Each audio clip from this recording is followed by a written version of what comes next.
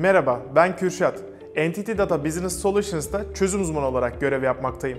Bugün sizlere ITMDS ana veri yönetimi çözümünden bahsedeceğim. Ana veri, bir işletmenin işi için gerekli olan ve genellikle birden çok disiplinde ve departmanda kullanılan kritik verileri ifade eder. Malzeme, müşteri, satıcı, finansal ana veriler örnek olarak gösterilebilir. Kurumun sahip olduğu en kıymetli bilgi varlıklarının sistemsel olarak yönetilmesidir. Günümüzde birçok kurum verileri farklı uygulama ve sistemler üzerinde tutmaktadır.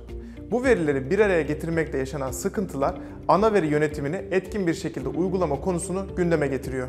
Veri kalitesini yönetmek ve kayıtları güncel tutmak manuel olarak yapıldığında çok uzun zaman alabilir ve hatalara neden olabilir.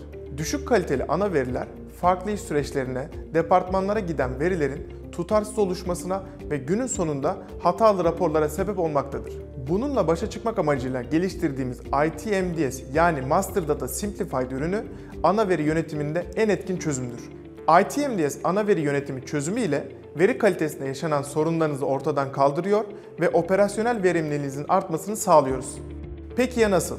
Verideki tutarsızlıkları tespit edip ana verideki alanların gerek departman gerekse sorumlu kişilerin kontrolünden geçmesini sağlıyoruz. Kişi bazlı bir sistemin önüne geçerek ana verinin sahipleri üzerinden iş akışları ve onay kurgularıyla merkezi bir sistem oluşturuyoruz. Sadece bir şirket değil, şirketler arası ana veri sürecinin de tek çatı altında yönetilmesini sağlıyoruz. Kolay, kullanıcı dostu arayüzü ve kokpitler sayesinde ana verinin oluşturulması ve yönetilmesini hızlı ve izlenilebilir bir şekilde sağlıyoruz. Yani özetle ITMDS, şirketinizdeki her departmanın elini taşın altına koymasını sağlar ve kontrollü merkezi bir yaklaşım sunar. ITMDS ana veri çözümü ile ilgili daha ayrıntılı bilgi için bizimle iletişime geçebilirsiniz.